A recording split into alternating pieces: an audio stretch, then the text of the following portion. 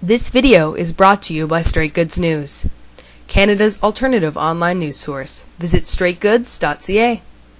related issue. A lot of concerns have been raised uh, in the wake of the crash in southwestern Ontario of the transportation. Uh, People are looking at their uh, working conditions, the long hours, how they're being transported to and from agricultural communities or whatever. What is, first of all, your reaction to that crash? And what specific concerns do you have about uh, transportation of migrant workers? Well, it's tragic uh, what happened last night uh, to the migrant workers. Uh, so many that uh, died.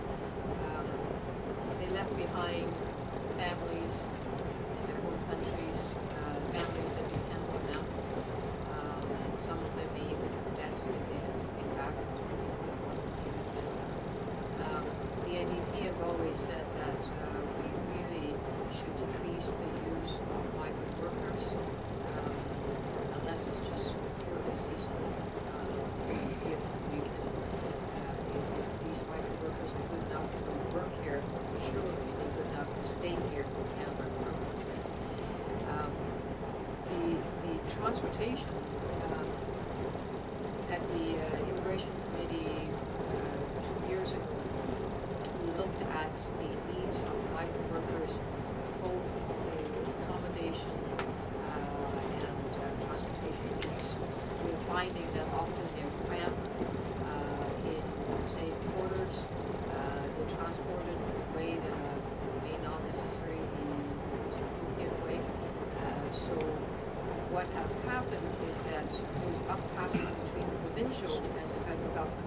The federal government said, well, you know, all of these are provincial responsibilities, up to the provincial government to enforce, um, whether it's labor code or accommodation or, or uh, uh, transportation rules. The provincial government said, I'm sorry, uh, these are, this is a federal program and therefore it's the federal government's responsibility. As a result, um, these uh, migrant workers' lives are stuck in political limbo, being passed between the two levels of government, sometimes even two municipalities. Uh, what the New Democrats uh, have been saying is that there should be a SWAT team created, led by the federal government, and with the support of both the provincial and municipal government, to go and examine the working conditions, the accommodation, and the transportation needs of these migrant workers. Do you think the government will, uh, will act in the wake of this uh, pretty, devastating accident?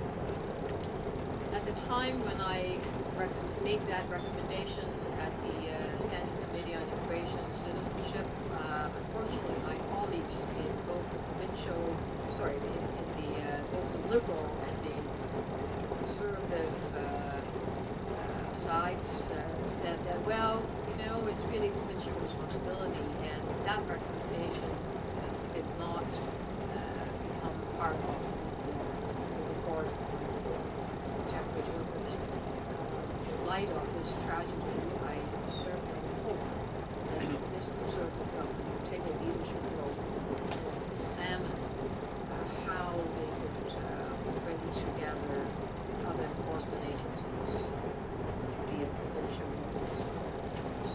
就是